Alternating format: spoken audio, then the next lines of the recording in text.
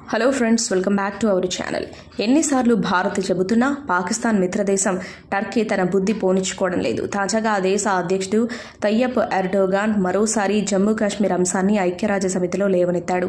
ఐక్యరాజ్య సమితి general assembly నేషనల్లోని అత్యున్నత స్థాయి డెబ్బై ఎనిమిదవ సెషన్లో ప్రపంచ నాయకులను ఉద్దేశించి ప్రసంగిస్తూ కాశ్మీర్ అంశాన్ని ప్రస్తావించాడు.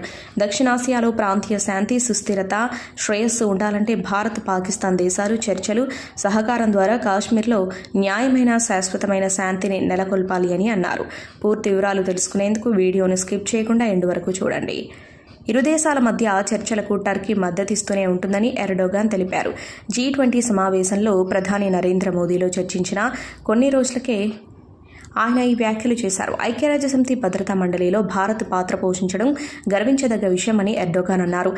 భద్రతా మండలిలో ఐదు శాశ్వత సభ్య దేశాలతో పాటు పదిహేను తాత్కాలిక సభ్య దేశాలను శాశ్వత సభ్య దేశాలుగా చేయాలని ఆయన డిమాండ్ చేశారు.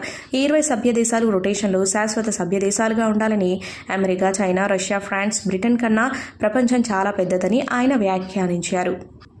టర్కీ ఇలా కాశ్మీర్ అంశాన్ని యుఎన్లో లేవనెత్తడం ఇది మొదటిసారి కాదు. పలు సందర్భాల్లో పాకిస్తాన్కి ఒత్తాస పలికింది. కాశ్మీర్ సమస్యను లేవనెత్తితే తాము సర్ప్రస్ సమస్యలు లేవనెత్తుతామని భారత్ పలు సందర్భాల్లో టర్కీకి చెప్పకనే చెప్పింది.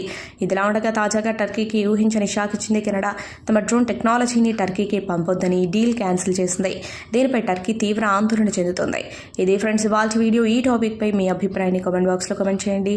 అలాగే ఈ సమాచారం మీకు ఉపయోగపడినట్లయితే వీడియోని లైక్ చేసి మీ ఫ్రెండ్స్ అండ్ ఫ్యామిలీకి షేర్ చేయండి. ఇలాంటి మరిన్ని లేటెస్ట్ అప్డేట్స్ కోసం ఛానల్ని సబ్స్క్రైబ్ చేసుకుని పక్కన ఉన్న బెల్ ఐకాన్ని క్లిక్ చేయండి. ఇలా చేయడం ద్వారా మేము పెట్టే కొత్త వీడియోలను మీరు నోటిఫికేషన్స్ రూపంలో చూడవచ్చు. Thank you for watching